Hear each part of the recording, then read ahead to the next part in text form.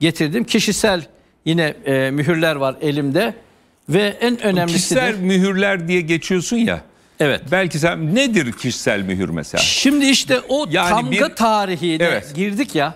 Tamga nedir? Ben Damga. biraz hani çok soru sorayım, bilmeze yatayım. Lütfen. Burada yani Lütfen, kişisel mühür dediğimiz şey aslında imzanın kendisi. Değil Evet, mi o dönem evet, için? evet. evet.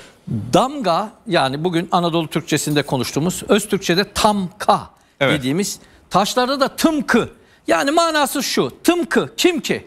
Yani Evet. biri bir iz bırakmış, e, biri bir şey oymuş, kazmış, mühürünü, patentini vurmuş. Yani tımkı, tamka kim ki? Yani bakıyorsun ve eserini o tamgadan o yazmış olduğu veya çizmiş olduğu sembolden anlıyoruz. Kişisel mühürlerde bu tarihten beri işte bakıyoruz Göktürklerde var.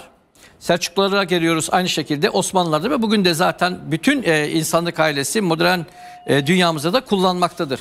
Patent kelimesi de aynı şekilde. Kimin malı, kimin eseri? İşte mühür budur. Bir tane daha mühür göstermek istiyorum şöyle. Görmüş olduğunuz e, Silindir mühür. silindir mühür ki ben e, kıymetli yönetmenimden istirham edeceğim. Bunun görselleri var. Onu da 9. resmi istirham ediyorum. Ve peşinden 8. resmi. Şimdi bu mühür dediğimiz şeyler Ertan silindir mühür aslında bunu bir kile burada yapabilirdik. Biliyorsun sen Tabii. silindir şekilde şu anda kıymetli izleyenlerimiz ekranlarda göreceklerdir eğer yönetmeni verirlerse.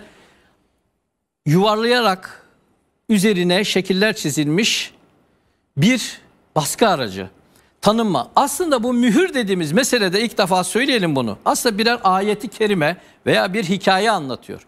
Bakın o silindir mühürü ne kadar uzatabilirsek yani sürersek toprağa kile o kadar fazla şekil çıkacak aynı şekiller. Örneğin orada şu anda 3 tane kelebekli görmüş olduğunuz tanrısal bir varlık biriyle e, mücadele ediyor. Aslanı bir elinde almış. tane aslanı eline almış, e, evet. Bir manada bir şey betimliyor anlatıyor. Evet. İşte tamga dediğimiz zaman bir anda bir bakıyoruz ki Sümer'de, Anadolu'da, Asur'da, Hititler'de, Urartular'da, Akatlar'da baktığımız zaman hatta Likya, Lidya, e, genç Hititler dediğimiz e, kavimlerde de kullanılan bir e, araç olarak karşımıza çıkıyor.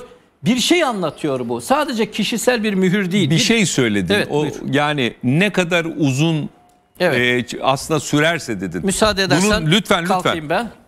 Bunu uzun sürmenin daha çok anlamları mı var veyahut da ne anlama geliyor? Söyleyeceğim. Çok güzel Evet. bir soru sordun. Çok teşekkür ediyorum. Seninle bu şekilde Alabilirsin program onu da eline, Tamam yok istersen. ben bununla ilgili Ha, tamam. görselim. Şu anda kıymetli izleyenler şu görmüş olduğunuz silindir mühür biraz önce arz ettim. Ve kil toprağa veya işte herhangi bir yumuşak e, toprağa sürülerek silindir şekilde itilerek gidiyor. Ne kadar sürülmüş? 1, 2, 3 tane figür. Bu istenirse 100 metre daha gidebilir ama bir anlamı var sorduğun gibi Ertan. Mesela 3 tane savaş kazanmış. 3 tane aslanı görmüş olduğunuz gibi eliyle tutuyor ve yendiğine dair göksel varlıkları da tabii temsil ediyor. Bir hikaye anlatıyor. Bu 6 tane olsaydı ne olacaktı? Altı savaş mı kazanmış? 6 savaş Evet. veya 6 yıl, 6 zaman zarfı veya tahta hanedanının sürdürdüğü 6 kez bir işari mana kazanmış olacaktı. Aslında birçok silindir mühürde kişisel değil. Eski e, baktığımız zaman arkeik dönemde bir hikaye anlatması. Hatta ben şöyle de söyleyebilirim. Bunların birçok e, mühürü belki de o döneme damgasını vurmuş teolojik ayetler diyebiliriz. Evet. Evet. E, bunun bir de 8. e, resmini kıymetli yönetmenimden istirham edeyim. Evet görmüş olduğunuz gibi yine bir silindir mühür ve burada yine bir hikaye anlatılıyor. Ve bu hikayede kişisel bir mühür değil. İşte kadehler alınıyor, bir şeyler veriliyor, bir tanrı tanrıça vesaire ve ideogramlar, hieroglifler vesaire o dönemin işte yazıları ve sembolleriyle bir konu anlatılıyor. Tabii ki bunu ehilleri biliyor. Yoksa bunlar görmüş olduğunuz gibi anlaşmalar olabilir o devrin veya işte dediğim gibi ilahi bir betimleme. Bunu böyle görmek gerekir. Tıpkı, kim ki, tamka vesaire gibi kim ki, kimin eseri ki? Sümerlerin mi? İşte hangi Hattuş Şirin'in mi? Hitit kralı müsaade edersen yerime geçeceğim. Lütfen. Evet. Bu mahiyette baktığımız zaman ancak şöyle devam edelim. klişelere e, geldik, girdik ve klişe tarihine. Daha sonra bu bize yazı aracı olarak kalemi işte e, gösterdi. Bu bir hat sandığıdır. Buradan kıymetli izleyenlerimize de gösterelim. Alabiliyoruz değil mi ekrana? Heh, evet, yakında şu anda görmüş olduğunuz hat sandığında da el yazması eserler. Bu kaç yıllık bir hat sandığı? Bu 1800 yıllardan kalma bir hat sandığı. Tabii içindekileri topladık. Yalnız ben şurada görmüş olduğunuz gibi orijinal İçindekileri topladık derken onlar parça parça başka yerde. Bu e, set değil yani. Doğru set mu? olarak Ha. birkaç tanesini tamamladık. Tamam, Onları ben tanıtacağım. Tamam. Şu görmüş olduğunuz gibi 500 küsür senelik bir el yazması hat meşkleri. Ben buraya fazla Evet. getirip göstereceğim ama en önemlisi işte mürekkepler ve şu görmüş olduğunuz bir deyimi sizlere anlatmak istiyorum. Tuzluğa benziyor gördüğünüz gibi. Hattatların sandıklarında olmazsa olmaz bir şey kil zırh denen zırh denen bir kil tozu buna konur. Derler hiç mürekkep yağladın mı sen? Evet. Bir deyim vardır. Tabii tabii. İşte bu deyim kıymetli izleyenler bundan çıkmıştır. Ne demek? Yazılan belgeye, mürekkep hokkasına, Mürekkep kamış kalem Tabii. açılıp veya e, kalemden hariç kirpi, e, oklu kirpinin veya işte bir kuş tüyünün kas tüyleri özellikle kullanılır. Kuğu tüyleri kullanılır açılarak daldırılır ve yazı yazılır.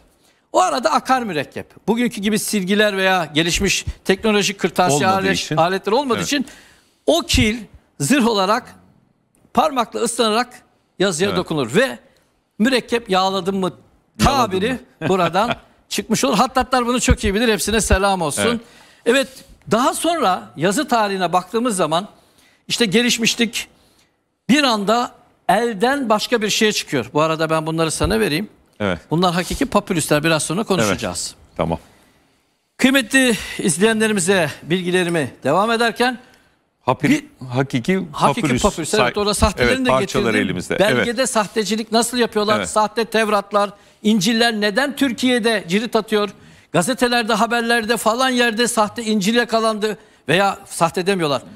Paha biçilemeyen Tevrat yakalandı, İncil yakalandı, kutsal metinler Ama iyi yakalandı. çalışmalar çoğu.